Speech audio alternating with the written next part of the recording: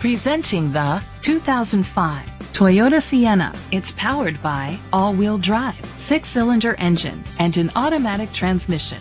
The features include an alarm system, roof rails, keyless entry, power lift gate, traction control, stability control, daytime running lights, anti-lock brakes, privacy glass. Inside you'll find steering wheel controls, a premium sound system, automatic climate control, front airbags, cruise control, a trip computer, anti-theft system, a multifunction remote, air conditioning, power door locks. Great quality at a great price. Call or click to contact us today.